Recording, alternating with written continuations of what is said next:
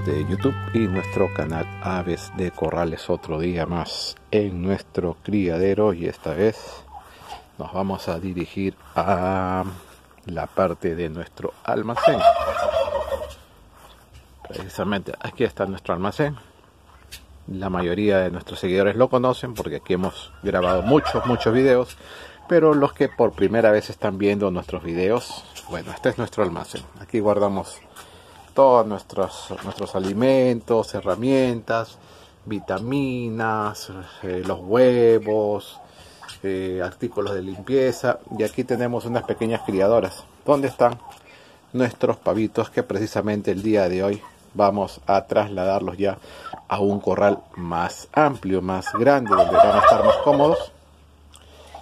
Ellos ya han cumplido un mes el día de hoy y así que vamos a trasladarlos porque ya mm, como que empieza a quedarles corto el, el corral o esta criadora que es precisamente hecho solo para los animales hasta su primer mes. Ya ahorita mm, también ya como que se sienten un poco más fuertes los olores así que vamos a trasladarlos a otro a otro corral. Son seis pavitos eh, son tres cenizos dos blancos y uno negro Dentro de los cenizos está nuestro pavito que nació enfermito, que pensábamos que iba a morir. Pero aquí está, mírenlo. Aunque se quedó más chiquito, pero bien cuerpudo, bien anchito. El único problema es que si no puedo recuperarse totalmente de sus patitas. Ya lo voy a mostrar más adelante. Pero así es como están estos pavitos de 30 días o un mes. ¿Ya? Vamos a trasladarlos ya porque también este, estos comederos ya como que le han quedado un poquito chicos, ya les quedó chico también el, el bebedero, así que vamos a ponerle otros bebederos y los vamos a llevar aquí amigos, vamos a, a mostrarles a dónde van a ser trasladados nuestros pavitos de seis meses. Hay un corral que ustedes también ya lo vieron en, en videos pasados que habíamos estado limpiando bueno, es este de aquí, que está desinfectado, completamente limpio. Aquí al costado de nuestros pavitos blancos, que ya están grandes, miren. También los que siguen nuestro canal han visto pues todo el proceso de estos pavitos, que ya más adelante vamos a hacerle un video especial para ellos nada más. Ya, bueno, los seis pavitos de 30 días los vamos a traer aquí ya lo hemos estado preparando un poco. Más antes ustedes ven esas manchas blancas. Ya eh, no vayan a pensar mal. Es cal. Cal en polvo que hemos espolvoreado en el piso y en las paredes también un poco para desinfección. Bueno y aprovechando ahorita me hacen me hacen acordar hablando de la de cal eh, una amiga seguidora me dijo que eso les podía quemar las patitas y no les quemaba las patas. No, porque el cal lo echamos antes de que los animales estén aquí, o sea, dejamos unos días para que se, se ore, se ventile y se desinfecte. ¿no? Una vez que terminamos de limpiar, eh, le echamos el desinfectante, encima echamos cal en todo el piso y en las paredes, en los rincones. Ya lo dejamos todavía unos dos días, tres días, cinco días. Si pueden dejarlo más tiempo, una semana, sería mejor para que se ventile y puedan eliminarse todos los rastros por ahí de, de virus, de bacterias, de alguna enfermedad que esté rondando en nuestro corral. Ya una vez que lo dejamos varios días, ya este corral está desinfectado y lo que hemos hecho es eh, echarle arena. Ustedes ven, le hemos echado arena de río o arena gruesa como le decimos acá en mi ciudad, ¿ya? Para que tengan ellos para rascar, para comer piedritas, para que pueda combinarse el guano y pueda ser más fácil el proceso de secado del guano y el proceso de que se convierta en arenilla y no, no se compacte, no se ponga pegajoso, no se ponga mm, duro, barroso, ¿no? Porque eso sí les puede quemar las patas a tus animales cuando el corral está muy mojado, está el, excremento como barro, eso le va a traer hongos y le va a quemar los pies, las, o perdón, las patas. ¿no? Incluso se te pueden este, morir los animales porque pueden coger también una infección. En cambio acá que estamos haciendo, por ejemplo con la cal, la cal ha estado ya sobre el piso, pero nosotros hemos echado encima la arena, ya se combina ya y es mínimo, se hace rocea, se espolvorea nada más tratando de cubrir. No es que vamos a echar tampoco un montón de cal, no, no, no. Es más que todo un, espolvoreado nada más encima para matar residuos que puedan quedar algunas este, virus, enfermedades. Entonces esto ya está listo para poner los implementos. Ya es un corral de 2 por uno y medio y para ellos va a ser suficiente al menos en sus dos, tres primeros meses. Ya luego se van a ser trasladados a los corrales grandes. Ahí tiene su voladero para que puedan dormir. Eh, tienen su, su espacio regular para que puedan aletear, para que puedan saltar, para que puedan correr. Siempre amigos hay que darles la mayor cantidad de espacio a nuestros animalitos para que puedan desarrollarse tranquilamente y no tengan problemas de estrés que eso a las finales les trae que bajen las, sus defensas y puedan enfermarse o contraer cualquier enfermedad fácilmente.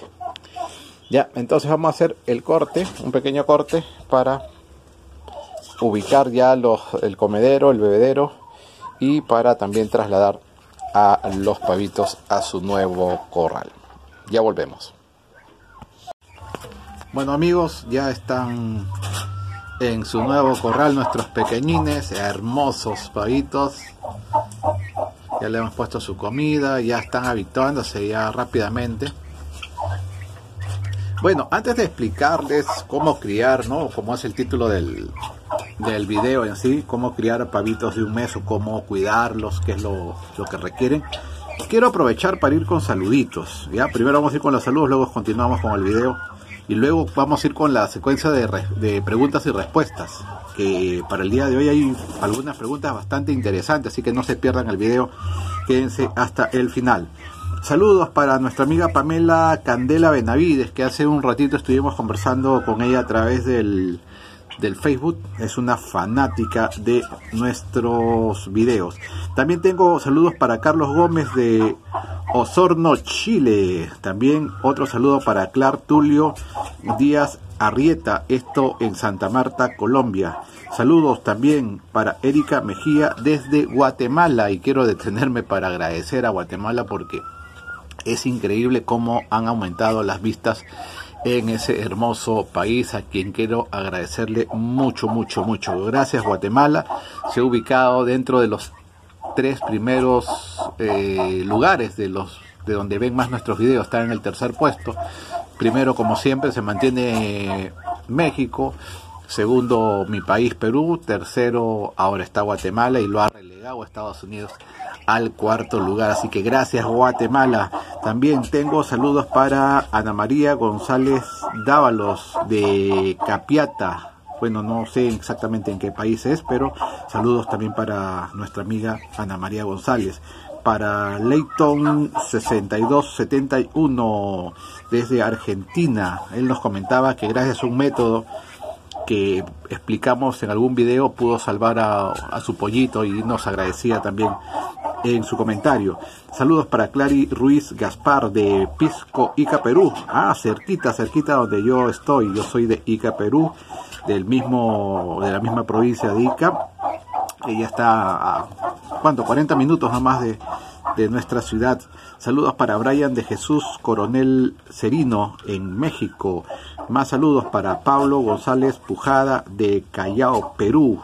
Y otro saludito para Celina desde Cochabamba, Bolivia. Al famoso Cochabamba. Acá conocemos a Cochabamba, Bolivia, más que todo por un grupo que pegó muchísimo, que se llama el Grupo Enlace.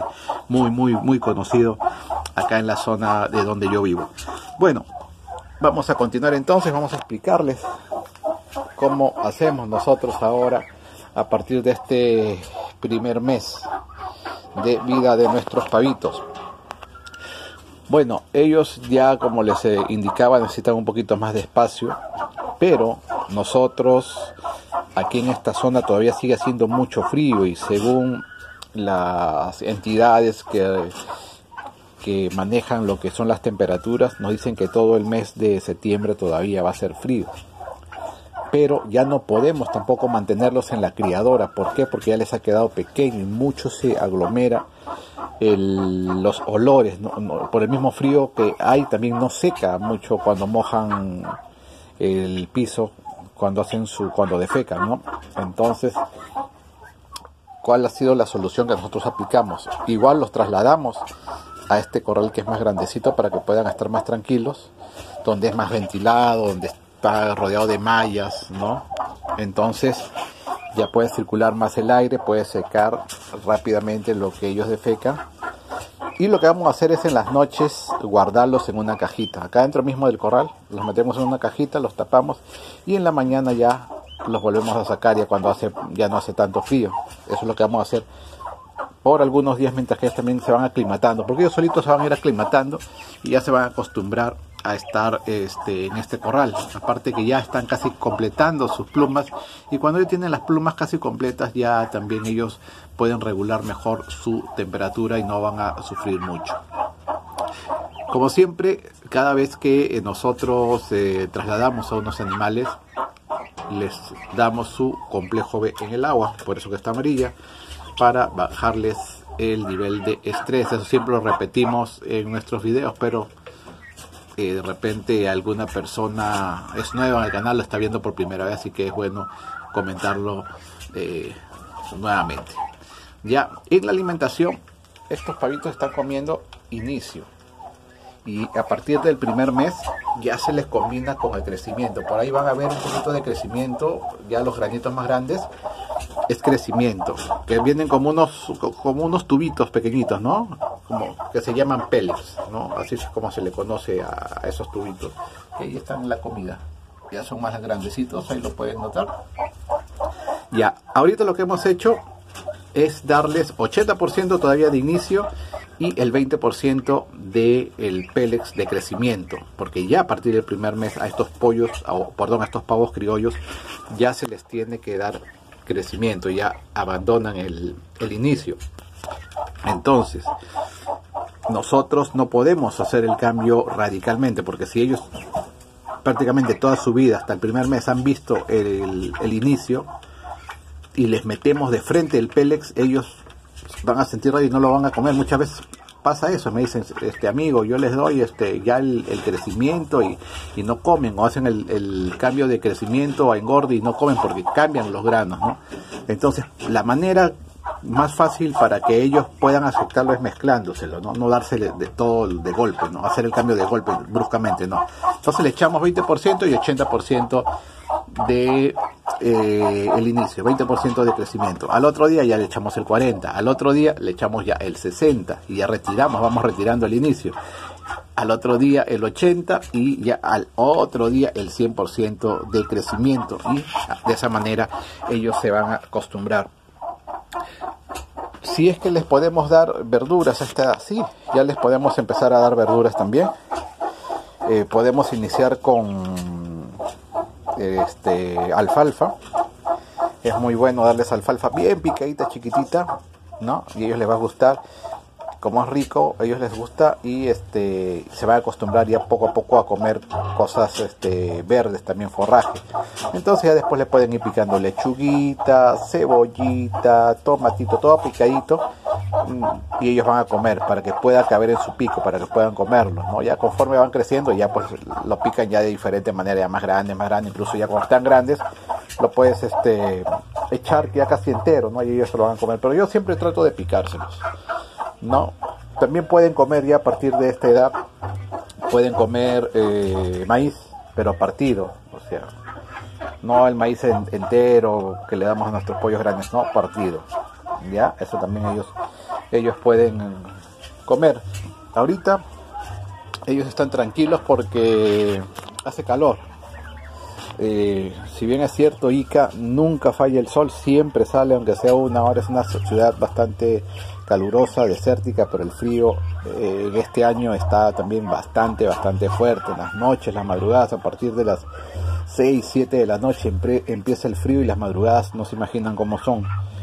Y también ya en las mañanas también hasta las 8 9 de la mañana también hace bastante frío. Entonces por eso que nosotros vamos a optar por guardarlos a nuestros pavitos para que no se nos vayan a enfermar. Igual como les digo el darles también el complejo B eh, es bueno porque les refuerza el sistema inmunológico para que no tengamos problemas de enfermedades luego con nuestros animales. Pero siempre hay que mantenerles el piso seco.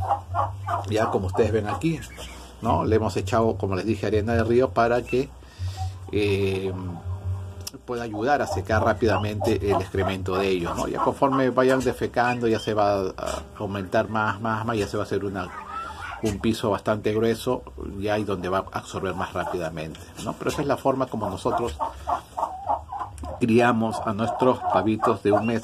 Ustedes tienen que tener en cuenta también mucho que los pavos son animales muy muy delicados de las aves de corral que normalmente se crían como son los patos las gallinas y los pavos el pavo es el animal más delicado y bastante tedioso a veces criarlos y para evitar enfermedades por eso hay que tener muchos muchos cuidados ya así que hay que seguir más o menos eh, las instrucciones las indicaciones que nosotros damos porque son indicaciones o son cosas que nos han funcionado nosotros y nosotros queremos compartirlas con ustedes para que no vayan a tener problemas o pérdidas con sus animalitos. Mira, ellos están contentos, están felices.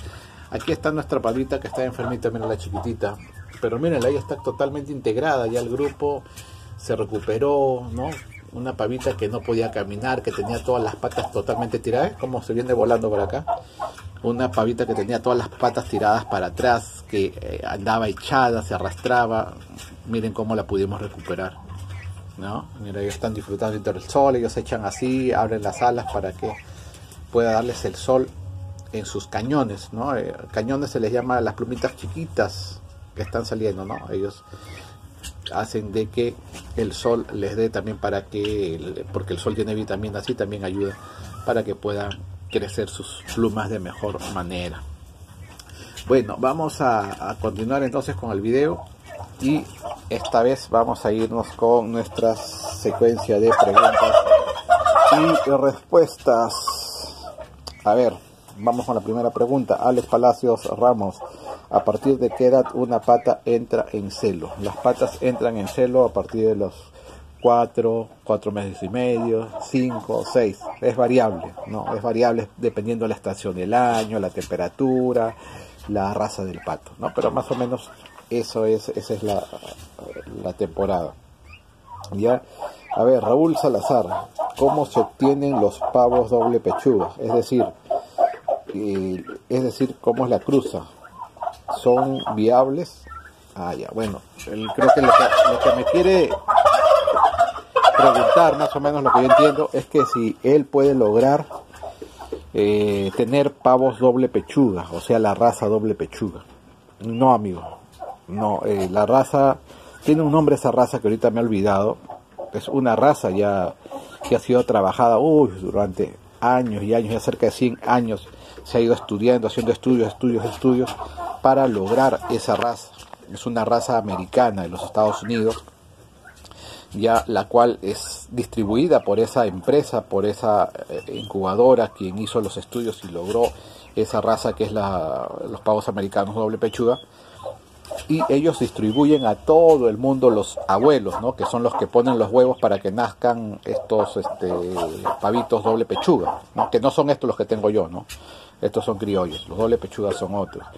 Ya sea si por más que tú hagas cruces y cruces y cruces no vas a lograr porque es una marca eh, eh, ya registrada es un eh, es un tipo de gen que ya este está patentado y logrado en base a muchos estudios no no es fácil de que tú lo lo puedas lograr. Lo que sí se puede hacer es mejorar razas no como hacemos nosotros.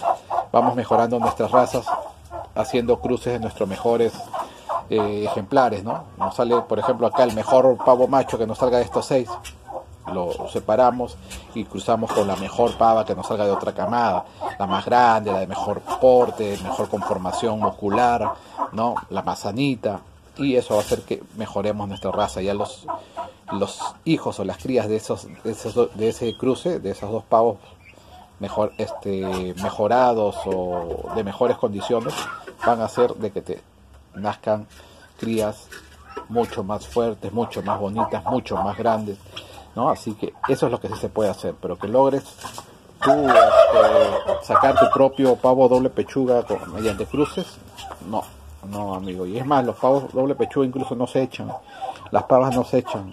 Usted y quererlos cruzar a veces no sale, es bien difícil porque eso tiene todo un sistema.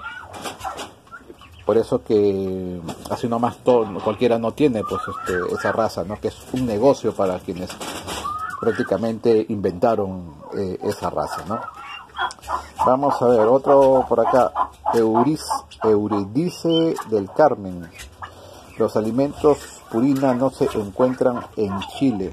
Bueno, lo que supongo es que no pueden encontrar alimentos purina y en algún video yo recomendé esos alimentos. Bueno, que lo recomiendo porque es bueno, pues no, porque no me, pero ya muy pronto vamos a estar con unos nuevos alimentos. Hay una empresa que por ahí nos ha dicho que nos va a mandar algunos sacos de alimentos para que probemos. Y si salen buenos, este, los vamos a recomendar y vamos a trabajar solamente con ellos. Así que si hay otro por ahí también que quiera auspiciarnos, no hay ningún problema. Los este, vamos a recibir de la mejor manera.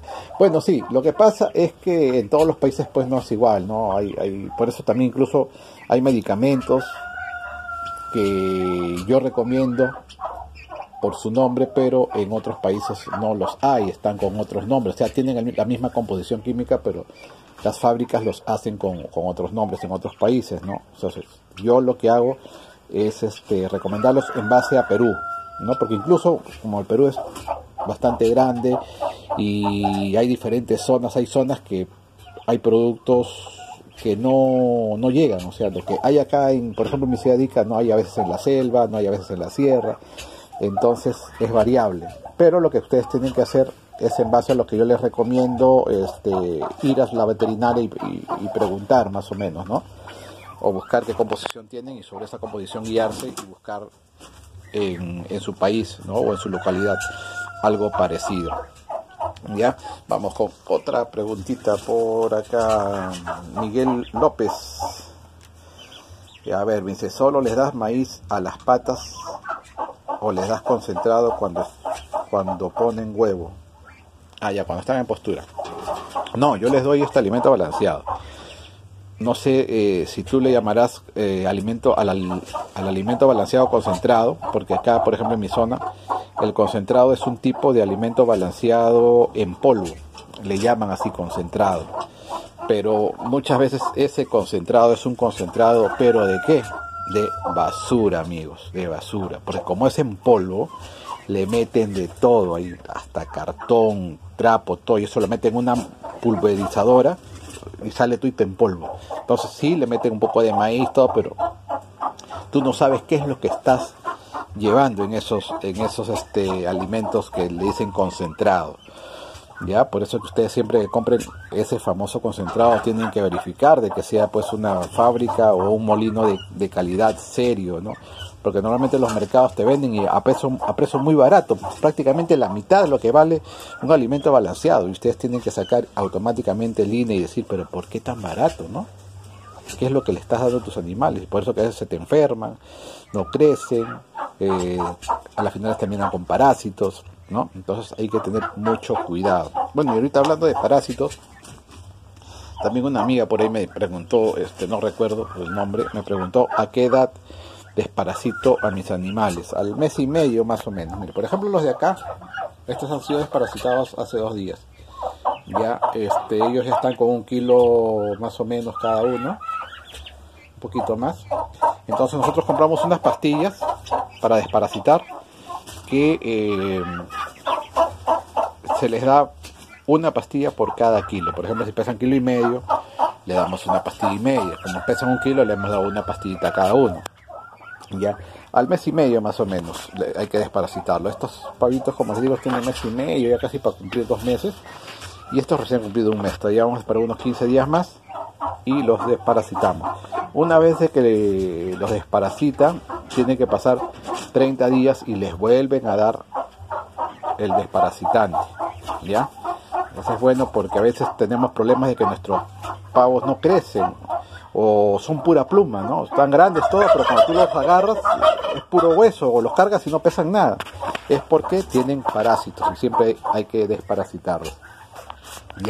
Bueno, eso sería todo no olviden dejar sus comentarios si quieren también algún saludito o quieren que toquemos algún tema en especial o tienen alguna pregunta, me lo escriben en los comentarios. Y recuerden siempre dejar en el comentario de qué parte son, o sea, de qué ciudad, de qué país, porque para eso, eso para nosotros es muy importante.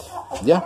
No olviden de darle like si es que les gustó el video y de suscribirse. Ah, también activar la campanita para que cada vez que subamos algún video ustedes puedan ser notificados. Que sigan pasando un excelente día y siempre pendientes de nuestro canal Aves de Corral.